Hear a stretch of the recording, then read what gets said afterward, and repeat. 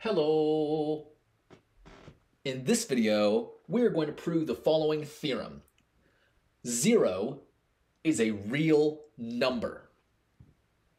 Now in this series, we are looking at a list of axioms for the complex numbers. And these axioms come from MetaMath. And I'll leave a link in the description below for more information on it.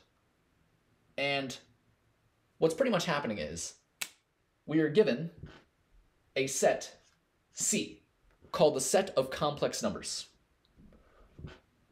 We're also given a subset of C, R, which is called the set of real numbers. And we're given three elements of the complex numbers.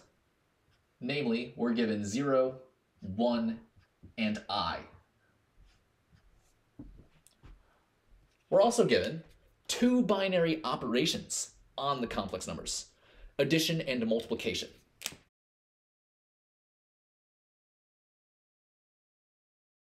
Right, so these operations take any pair of complex numbers and map it to complex number.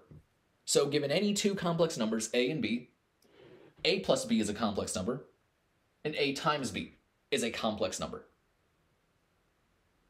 And finally, we are given a relation on the set of real numbers called the less than relation. So, given any two real numbers, a and b, it might be the case that a is less than b. And we would write that as a is less than b. Otherwise, a is not less than b. And we write that. And from here, we have a list of axioms for the complex numbers, which I'll leave in the description below. Okay, now we know that 0 is a complex number. We're trying to prove that 0 is a real number, right? We're trying to prove that, in particular, it belongs to this subset of the complex numbers. And to prove that, we are going to be using the following axioms.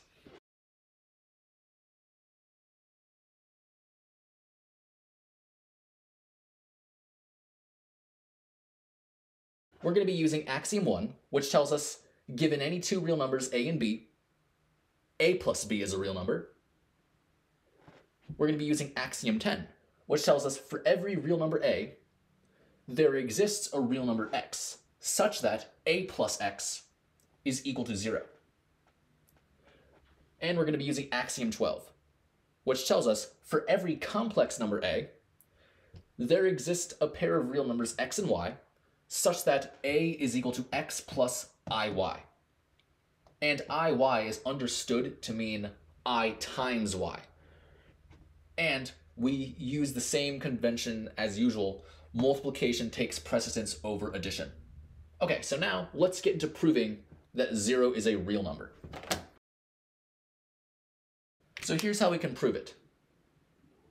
Since 1 is a complex number, and axiom 12 works for every complex number, then in particular it must work for the complex number 1. So, taking a to be 1, right, so I'm going to substitute a for 1. In that case, there exists a pair of real numbers x and y, such that 1 is equal to x plus iy.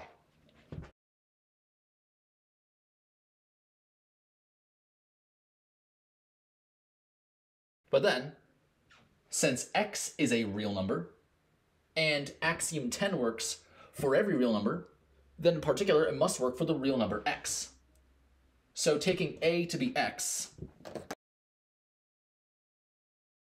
well then there exists a real number I'll call t, such that x plus t is equal to 0, right? I'm not going to call it x because we already have an x in our proof. So there exists a real number I'll call t instead, such that x plus t is equal to 0.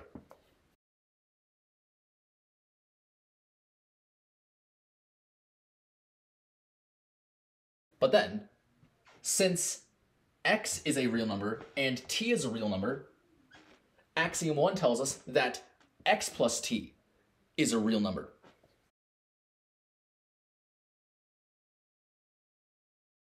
But since x plus t is equal to 0, we can substitute x plus t for 0, so 0 is a real number, right? We're assuming that the usual laws of equality hold, so we're allowed to substitute x plus t for whatever it's equal to. So 0 is a real number. And that's it. We have deduced that 0 is a real number. So this completes the proof. So taking a step back, it seems that what made this proof work is the existence of at least one real number. Because once we know at least one real number exists, we can apply axiom 10 to that real number and obtain another real number, such that when we add those two real numbers together, we get zero.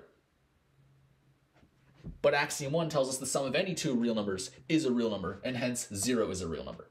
So, it just had to do with the fact that we find at least one real number. From there, we could deduce 0 is a real number. So, yeah. Now, MetaMath does things a little bit differently, and the proofs are not written like this at all. But I still want to look at some of the results that come out from these axioms of the complex numbers because I think it's kind of interesting. And so if you're interested, you can keep watching and we'll do more videos on this. And if you want to know more information about these axioms of the complex numbers and so the results which come from them, MetaMath has them. And so that link is in the description below. And so yeah, that's pretty much it for this video.